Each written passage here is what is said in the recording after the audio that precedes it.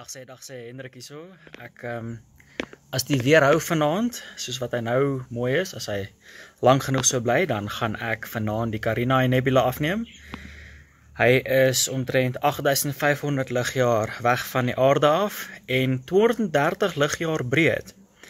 So hy is redelik groot in die in die lug en my groot teleskoop is te groot. Hy is 1000 mm en hy zoom te veel in en bring die ehm um, Carina Nebula te te naby. So hy pas nie heeltemal in my frame in nie. So ek gaan gou my kleiner teleskoop opsit wat vier, wat 420 mm ehm um, brandpunt het. So hy laat my toe om 'n bietjie wyer te kan kyk.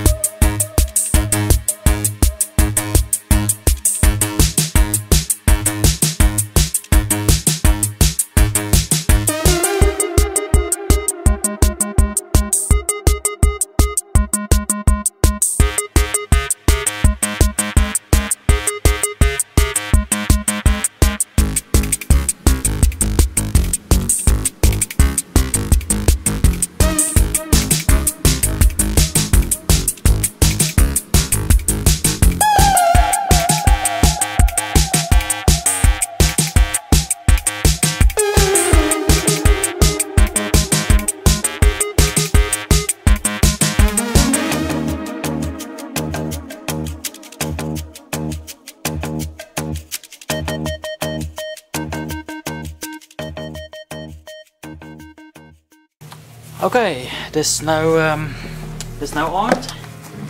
En uh die teleskoop is opgestel. Ek het sonk begin test exposures neem. So ja, dinge is aan die gang. Ek is uh vreeslik opgewonde oor hierdie ene. Dit is die eerste keer dat ek Carinae Nebula met die kleiner teleskoop kan afneem. Ehm um, want hy's nog relatief nuut. Ek het hom nog nie so baie gebruik nie. So ek nog nooit so wyd geskoot op die Carinae Nebula nie. Ek sien baie uit. Hier waai so 'n bietjie van 'n windjie en die maan is half, so miskien sukkel dit.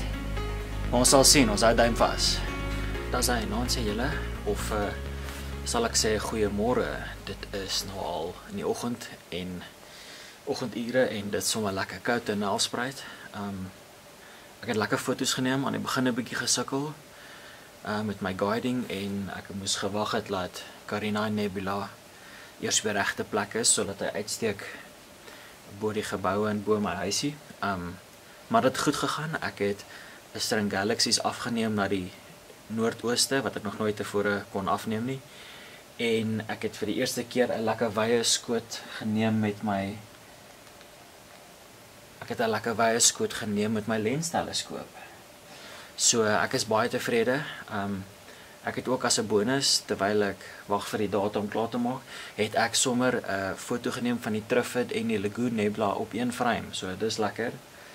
Ehm um, so ja, hier volg die foto van die Trifid en Lagoon en daarna my mooiste foto nog van die Carina Nebula.